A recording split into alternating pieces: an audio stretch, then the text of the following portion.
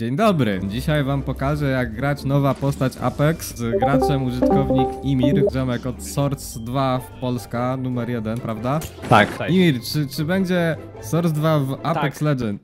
Dobra. Wszędzie super. będzie, mówię ci. Nawet w Fortnite. To dobrze, chyba. Dobra, słuchajcie, sprawa jest taka, jest nowa aktualizacja i nowa postać. Niestety, czasem mi wyrzuca blue screena na tym komputerze, więc wolę nagrać ten poradnik na strzelnicy, ok? Tyle, co zdążyłem zobaczyć u streamerów, jak się gra fajnie tą postacią, tak myślę, że zrobimy takie podsumowanie. Słuchajcie, zacznijmy od takiej pierwszej rzeczy, że mamy możliwość założenia na pasek trzecią broni. To jest super, ale to jest trochę jeszcze broken. Aktualnie, jeśli weźmiemy jakąś trzecią broń i najlepiej sobie zbindujmy, jak gramy na kompie to F1, F2, tak jak nie wiem, w Metinie na przykład, nie? Zobaczcie, mamy flatline'a.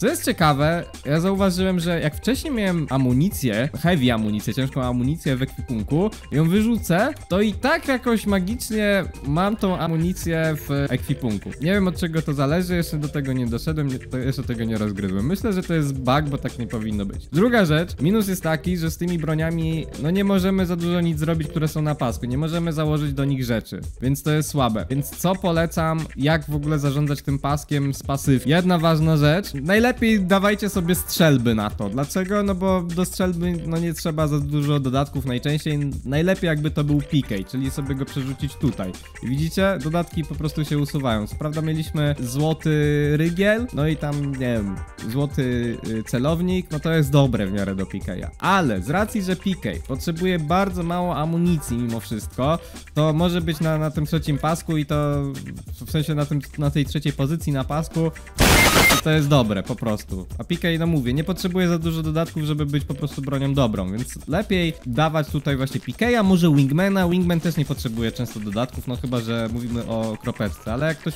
bardzo lubi Wingmana, to sobie wiadomo poradzi. Więc tak powinniśmy korzystać z tego paska. No i mówię, podnosimy tam broń. Ja sobie zrobiłem tak, że jak widzę. To, to jest trochę głupie, powinno być to prostsze do zrobienia. Bo jak macie Gibraltara czy, czy Miraża, to możecie im włączać właśnie umiejętności z pasywki za pomocą jeszcze dodatkowego przycisku. U Gibiego to jest włączenie lub wyłączenie tarczy jego ręcznej, a u Miraża włączenie hologramów, żeby sobie tu ptały. Więc to nie do końca pasywka, ale no wiecie o co chodzi.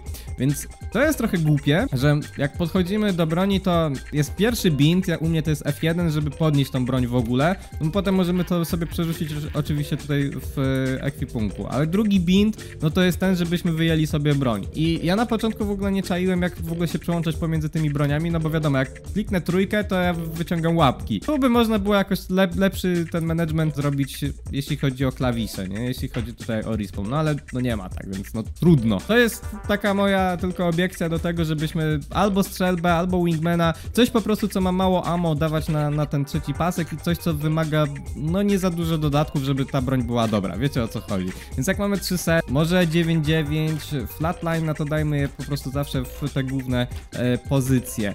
A w trzeciej albo dajmy właśnie PK'a, Wingmana, albo te, broń o tej samej, samej kategorii, m, którą mamy w pierwszym czy drugim tutaj slocie, m, na przykład na light ammo, czy heavy ammo, czy energy ammo, po prostu tak, żebyśmy lepiej zarządzali tym plecakiem.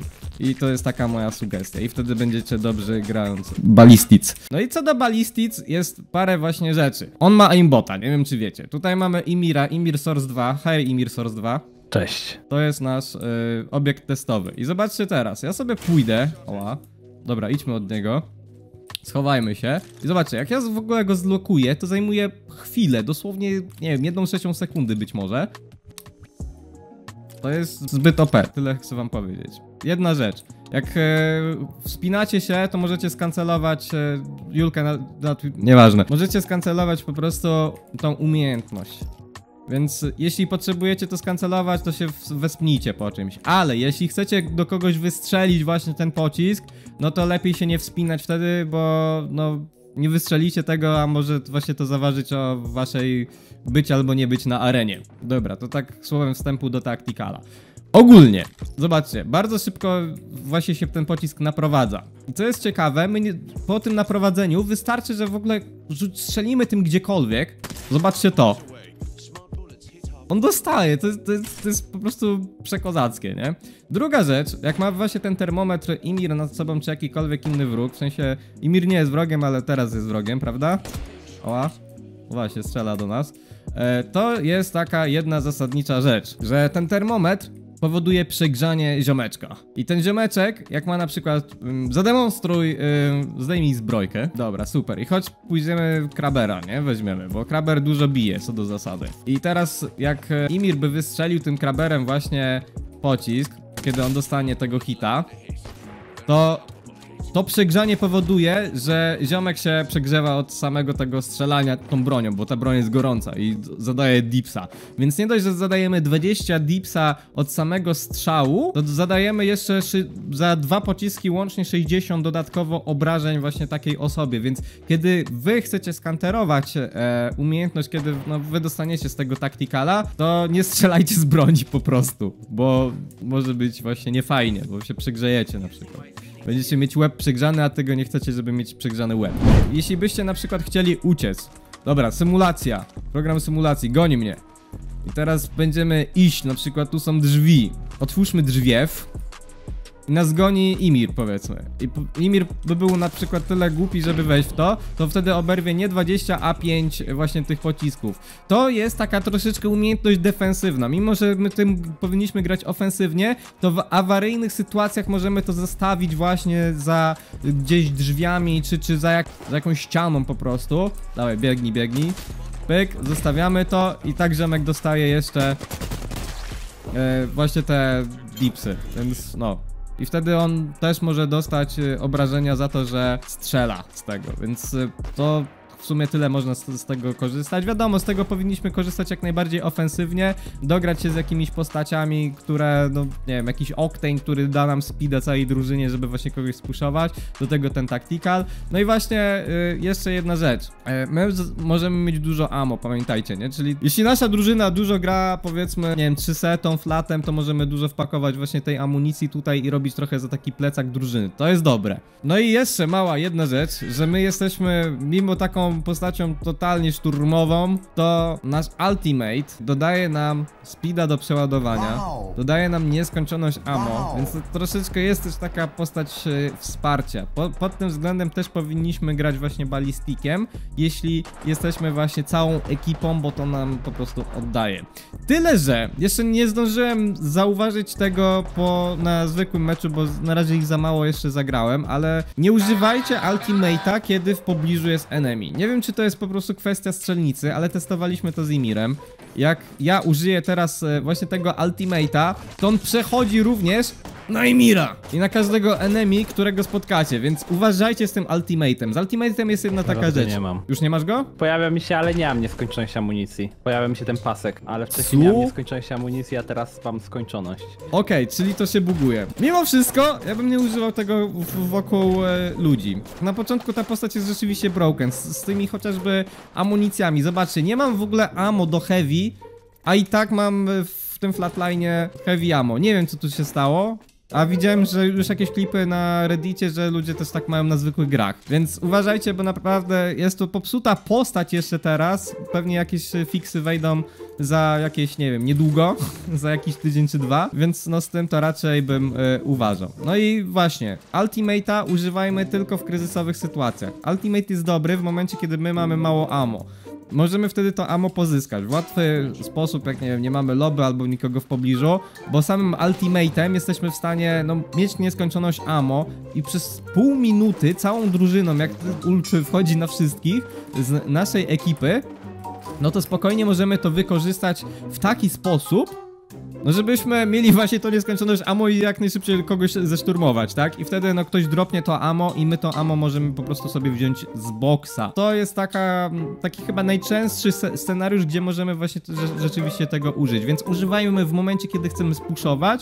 Najlepiej to będzie się dopełniało z postaciami takimi jak właśnie Octane, może Pathfinder, coś co nam da szybką drogę do enemy. I to wtedy jest takie, no, najlepsze. I w sumie przy rozpoczęciu puszowania, no też powinniśmy użyć taktikala na jedną z osób, możemy szybko przekminić na, na kim najbardziej będzie to e, przydatne, tak, żeby właśnie to przegrzanie było, bo nie wiem, możemy na przykład za pomocą Vantage zobaczyć kto ma co w EQ w danej przeciwnej drużynie, do której celujemy. Jeśli widzimy, dobra, ten ziomek ma Krabera albo ten ziomek ma Flatline'a, po prostu możemy zobaczyć, kto ma na taką broń, która jest no, najgroźniejsza dla nas, no to dzięki temu możemy właśnie e, tą osobę przegrzać, żeby no ona była na chwilę trochę wyłączona z walki, żebyśmy to, to wykorzystali, czyli postać naprawdę szturmowa, jednocześnie wsparcia, to jest taki miks, y, bym powiedział, więc nie grajmy tylko szturmowo, ale też za pomocą wsparcia. Tutaj, no trzeba troszeczkę go rozgrywać tak bardziej na 200 IQ, jeśli chcemy po prostu wygrywać, bo postać jest naprawdę mocna i, i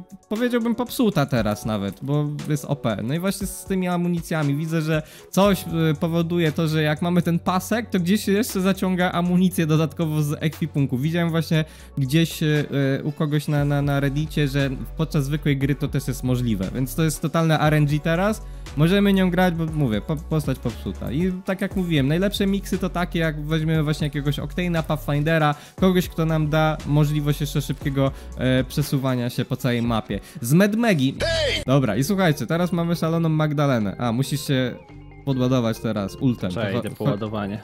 Dobra. Dobra, i się teraz ziomeczek naładował u nas. I jest szaloną Magdaleną. Czekaj, ja wyłączę może Fire, przyjazny Fryer wyłączony. I teraz tak, jak rzucisz ulta w tamtym gdzieś kierunku na przykład, wyciągniesz strzelbę, bo Megi biega szybciej ze strzelbą, dawaj, no weź rzuć. A ja teraz jeszcze odpalę ulta, a ty weź strzelbę. I biegnij teraz za, za, za tymi kółeczkami. To ty dostajesz Wow. takiego mega speeda, bo te dwie postacie się po prostu ze sobą uzupełniają. Megi za pomocą tego, że ma strzelbę biegnie szybciej, dodatkowo ten ultimate Megi ją przyspiesza i jeszcze nasz ultimate, bo nasz ultimate nie dość, że szybciej przeładowuje bronię, to jeszcze przyspiesza nasz samych, czyli Megi po prostu do, dostaje takiego turbo speeda do biegania. No zobaczcie jak ona biegnie, a jak my biegniemy, nie? No wiadomo, teraz dostaliśmy tego speeda. Nie wiem ile tam jest y, velocity, ale podejrzewam, że może biegnie tak szybko jak Octane, więc naprawdę to jest broken duo, więc możemy na razie to brać właśnie tę jedną i drugą postać, bo się póki co dopełniają, mimo że są no też szturmowe, tak? Mimo wszystko. Więc to jest taki protip. No i to by było na tyle w sumie w tym odcinku. Mam nadzieję, że się spodobało. Jak macie jakieś fajne triki, jak grać ballistics, jakieś macie inne fajne triki, nie wiem, na trzepaku, to też możecie dać nie wiem, w komentarzu i zrobimy może jakiś odświeżony odcinek w przyszłości. Bajo! Cześć! Czekaj, co jeszcze tutaj można by było powiedzieć ciekawego? Hmm. Że w Apexie nie będzie Sorsa 2.